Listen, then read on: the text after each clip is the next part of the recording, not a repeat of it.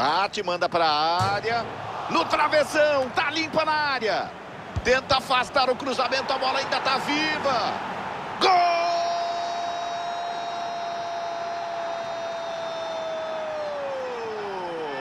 Pra meter fogo no clássico. Gol fora. Placar aberto. Agora vamos rever o gol por outro ângulo.